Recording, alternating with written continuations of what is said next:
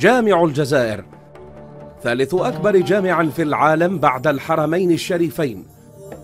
صرح ديني وحضاري. جمع في موقع تشييده فصول قصة كاملة.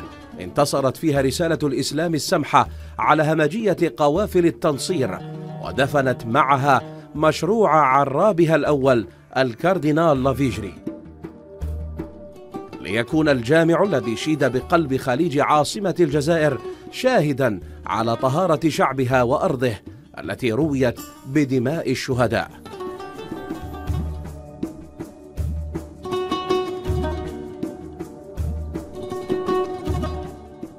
في ظلمة الليل كما في وضح النهار لا تخطئ عين منارة جامع الجزائر الأطول في العالم.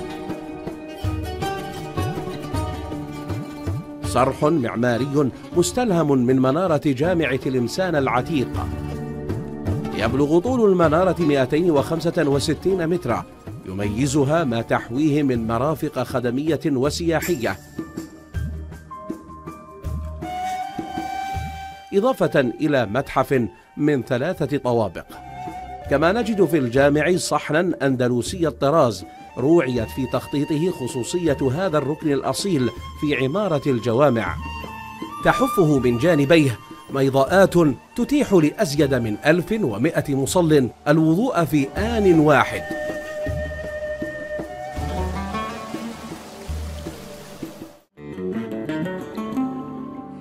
سكينة ما بعدها سكينة.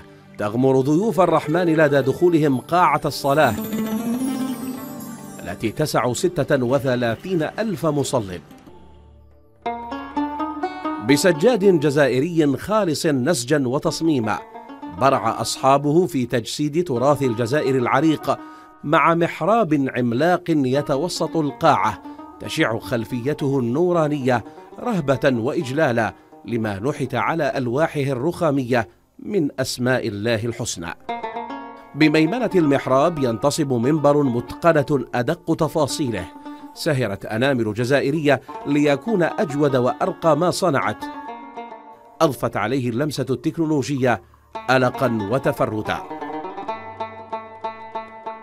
أما الثريا فلم تعدم تميزا في تصميمها وتعلو الثريا قبة ثلاثية الأبعاد تجسد زخرفة المقرنصات التي ظهرت أول مرة بقلعة بني حماد. ما يسمح بولوج أشعة الشمس إلى الداخل ونفاذ أنوار القاعة إلى الخارج ليلا لإنارة هيكلها الخارجي الذي يعلوه جامور عملاق مذهب.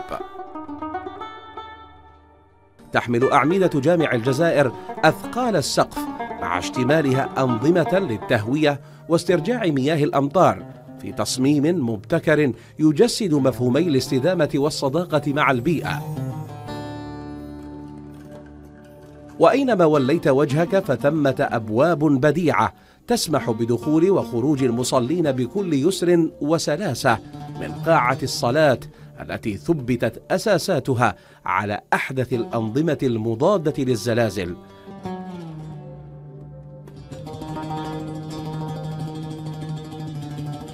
بما يليق بالمقام الرفيع للإمام والمؤذن أنشئ مبنى الإمامة تتضمن طوابقه الثلاثة قاعتي استقبال ومكاتب مع مضاءة خاصة بالإمام وضيوفه في الطابق تحت الأرض. بتصميم يمزج بين الحداثة والأصالة ويضفي على المكان هدوءا ووقارة وبقدرة استيعاب تبلغ 1800 زائر تحمل مكتبة جامع الجزائر في رفوفها مليون كتاب.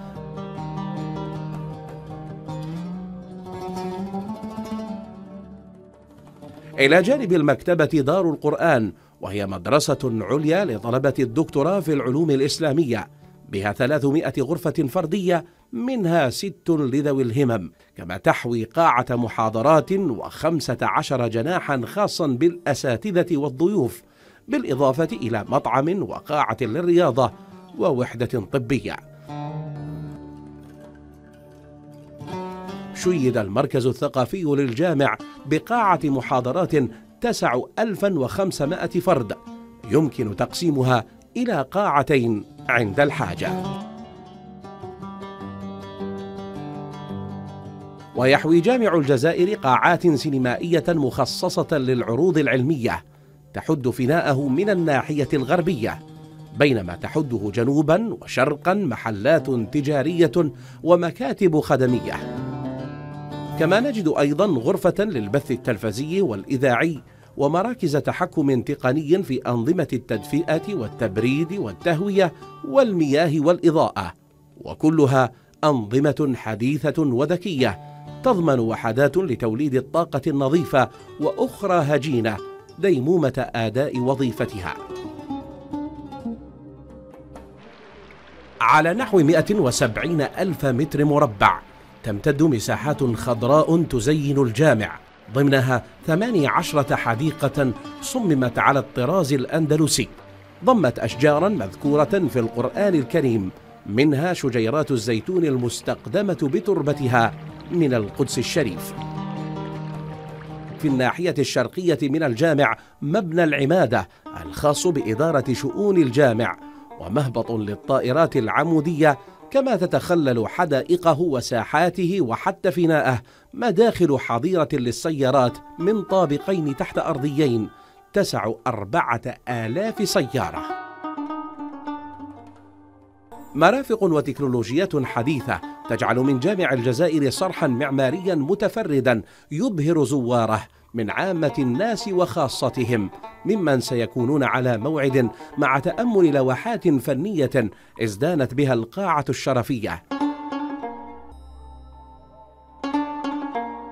أحيا حرفيون جزائريون من خلالها فن المنمنمات مستلهمين من تركة الأب الروحي لهذا الفن عمر راسم.